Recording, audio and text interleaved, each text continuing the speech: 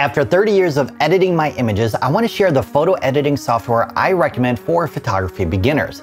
Some editing software like GIMP are free. Some like Adobe require a monthly subscription and others provide lifetime licenses. As tempting as free is, I don't recommend GIMP and I also don't recommend Adobe products for photography beginners due to the learning curve and the monthly cost.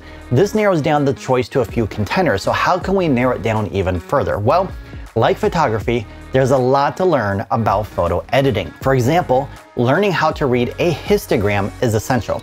Then you must learn about tonal adjustments like the midtones, highlights, shadows, and black and white points. If that wasn't enough, you have dozens of other photo editing tools to discover and master like HSL, vignettes, lens correction, tone curves, mask, properly sharpening your images, removing digital noise, and much more. Now to speed up your learning curve and make photo editing easier and fun, you can employ AI technology to help you create amazing images. All editing software today utilizes AI technology, some more than others except for free apps. So let me show you how AI can make editing easier and more fun. Now before AI, you had to go to your tonal values and adjust them accordingly. This required knowing how to use them and how to avoid over editing.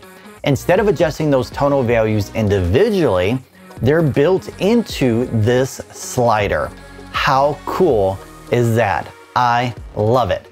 And unlike Lightroom, this photo editing app has many more AI tools to help you achieve your creative vision, and my number one recommended photo editing app for photography beginners is Luminar Neo.